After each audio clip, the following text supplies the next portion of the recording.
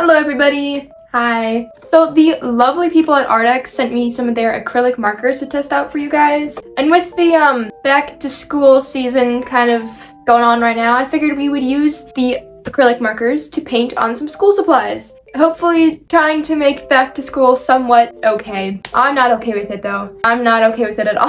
now I do online school so I don't really have to do a lot of back to school shopping but these are just some things that you guys can do if you want. I have these notebooks. I don't really use notebooks because I do online like I said I just type a lot but these are something that you can decorate really easily and we're gonna be doing that today. Also got a pencil, also got a highlighter. We're just gonna get into it. I just keep talking, so we're just we're just gonna start. Okay, so here is our notebook. I think we're gonna start by doing this notebook. I wanna paint something like simple just on the white part. Here are our markers, by the way. I took them out of the box just so you can like see them better. But there are so many different colors and I have used these already, so a lot of them are already like activated and stuff but there are some that aren't so I'll show you how to activate them. So this one I have not activated yet. This one is one of the metallic ones. So it actually says on here all you have to do you shake the marker to mix the ink and then you press up and down several times and then you just use it. So we'll shake it with the lid on with the lid on guys.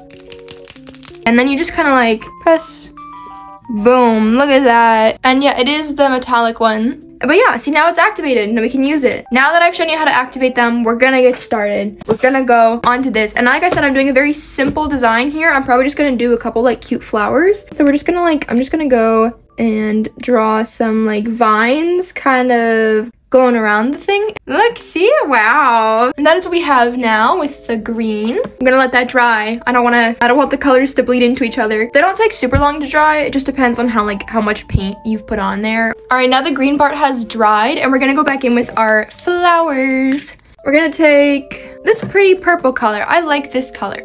Oh, it's not activated. You know what that means? Boom, it's ready to use. Okay, we're gonna add some pretty purple flowers now.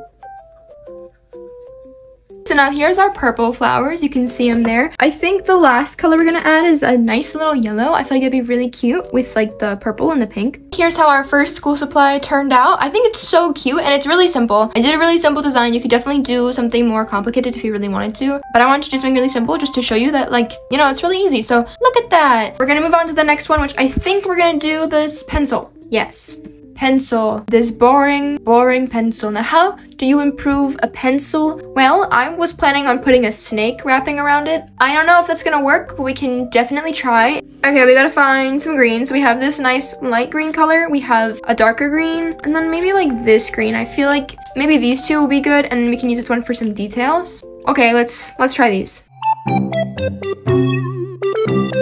Okay, now we have a cute snake wrapping around the pencil. Now I should have been a little bit smarter and put it like at this part because now it's right where you hold the pencil. Um, so if you do this and if you want to do a snake, just a word of advice, put it farther down here because I'm an idiot. Okay, so now we have our little our little snake. He looks kind of sad, I'm not gonna lie. But we have our snake and we have our notebook. As for what we're gonna do on this highlighter, I'm not entirely sure. We could paint like a little ghost. I think that'd be cute. That's simple enough too that like anybody can paint a ghost. Just like a blob with eyeballs. I think we're gonna put this one closer to the bottom. I learned from my mistakes with the pencil.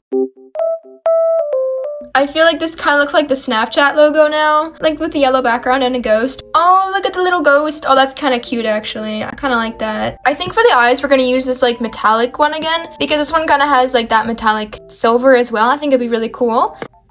Oh my god, he's so cute. Look at him. Oh, I love him. He's my favorite. He's my favorite. I love this.